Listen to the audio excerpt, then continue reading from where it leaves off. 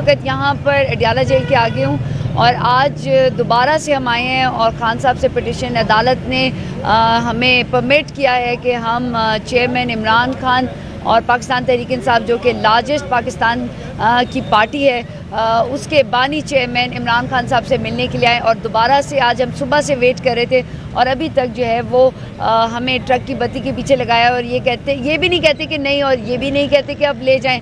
और वकला को भी मिलने दिया है। लेकिन इस वक्त जो ख़ास आज का दिन है, वो ये कि हम लोगों ने स्पेशली पटिशन की माइनॉरिटीज़ क्योंकि रिज़र्व शीट्स के लिए खान साहब ने खुद कहा था कि मैं खुद मुंतखब करूँगा और मेरे पास पटिशन करके नाम भी लाए जाएँ। और उसके साथ, इस परचम में सब्ज़ के साथ एक सफ़ेद जो है निशानी सफ़ेद रंग है जो कि माइनॉरिटीज़ को करता है और आई थिंक ह्यूमन राइट्स भी ये बात करती है और हमने कोशिश की है कि हमारे जो एक्स एम एन ए और एम पी एस हैं वो यहाँ पर मौजूद हैं और इनकी मुलाकात जो है वो इमरान खान से की जाए। मैं खुद बजाते खुद जो कि इमरान खान के साथ होती हूँ। मेरी भी मुलाकात अदालत के थ्रू एक प्रॉपर वे में आइनी और कानूनी तहत से हो, लेकिन इसको अल्तवा की सूरत इसलिए की जा रही है ताकि जो इस वक्त कौमी असम्बली और सूबाई असम्बली के जो इस वक्त मंतखब करके लोग आ रहे हैं, उनमें कहीं ना कहीं जो है वो उसकी देर हो। लेकिन मेरी मीडिया के साथ भी और ह्यूमन राइट्स और इंटरनेशनल ह्यूमन राइट्स से भी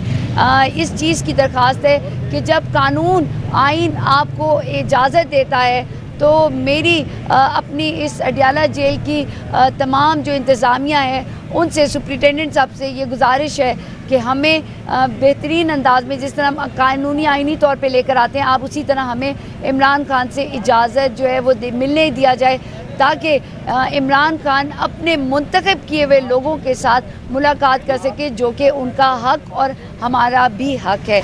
और हमारे साथ माइनॉरिटीज़ के रिप्रेजेंटेटिव मौजूद हैं जो कि तमाम लोगों को लेकर आए हैं और इनकी भी पटिशन है, आप बात कीजिए।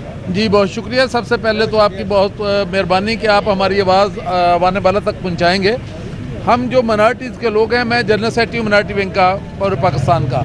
मेरे सदर जो थरपारकर से उमरकोट से यहाँ आए हैं अपने कायद को मिलने के लिए, मैं खुद फैसलाबाद से हूँ। ये रवि भाई साहब का एम हैं, ये के पी के से हैं। वज़ीर बाद ये कैलाश से आए हैं। हम मनार्टीज़ के लोग आप समझते हैं कि अब अगले दो दिन में मनार्टीज़ की लिस्टें जो हैं वो फाइनल होकर इलेक्शन कमीशन में जानी हैं स्पेशल सीट्स की। हम उसके लिए, मिलने के लिए प्रॉपर वे या तो हमें को रास्ता बता दें। हमने कोर्ट से अप्रूवल ली, मिलने के लिए लेकर हमें मिलने नहीं दिया गया। सुबह आठ बजे से यहाँ हम खड़े हैं। अभी तक ना हमें रिजेक्ट किया जा रहा है कि हम आगे कोई फॉर्म इस्तेमाल कर सकें। ना हम आगे किसी कोर्ट में जा सकते हैं, ना हमारा वो जो ऑर्डर है उनके पास गया हुआ है, ना वो हमें इनकार कर रहे हैं, ना मिलने दे रहे हैं। अब या तो हमें कोई रास्ता बता दें कि हमें और कौन सा रास्ता इस्तेमाल करें अपने कायद को मिलने के लिए और हम अपने फैसले कैसे लेंगे मराठी बैंक के? और हमारे पास सिर्फ़ दो दिन है, चौबीस, इक्कीस और बाईस। इसके बाद हमारी मराठीज़ की लिस्टें फाइनल होनी है। हम आपके एक दफ़ा फिर शुक्रगुजार हैं। बसमीम हमारा मकसद मिनॉरिटीज़ के लिए जो पटिशन फ़ाइल करने का, वो ये था कि किसी किस्म का डिस्क्रिमिनेशन ना हो। इंटरनेशनल लेवल पे ये ना कहा जाए कि पाकिस्तान के अंदर मिनॉरिटीज़ गैर महफूज हैं। उसके लिए हमने पटिशन लगाई थी। और वो जो एक्सेप्ट भी हो गई थी कोर्ट ने आर्डर किया था कि आप जाके इमरान खान साहब से मिल सकते हैं और गवर्नमेंट की फार्मेशन के अंदर और गवर्नमेंट की कौमी लेवल पे उसकी खिदमत में आप अपना कंट्रीब्यूशन अदा कर सकते हैं। लेकिन बदकिस्मती से अभी तक उस पर इम्प्लीमेंटेशन नहीं हो सकी। हमारी फिर सब मिशन है इन जेल काम से कि इनकी मुलाकात करवाई जाए, अर्जेंट बेसिस पे करवाई जाए। अगर लेट हो गए दो दिन के बाद तो फिर कोई फ़ायदा नहीं है।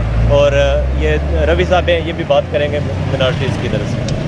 बस बात जी, नादिया ने भी बात कर ली है और हमारे जीएस साहब ने भी बात कर ली हमारा एक ही मुतालबा है कि हमें अपने लीडर के साथ मिलने दिया जाए ताकि जो हम पुरमन पाकिस्तानी शहरी हैं, हम गैर मुस्लिम हमारी कम्युनिटी जो है वो एक अच्छे फैसले ले सके, जो ऐवानों में जाएँ, अपने लोगों के लिए काम कर सकें। उसके लिए हमें अपने लीडर से मुशावरत की ज़रूरत है और वो हमें कानूनी तरीके से इन मिलना चाहते हैं। हमारी रिक्वेस्ट है इंतज़ामिया से कि हमें मिलने दिया जाए। बहुत बहुत शुक्रिया।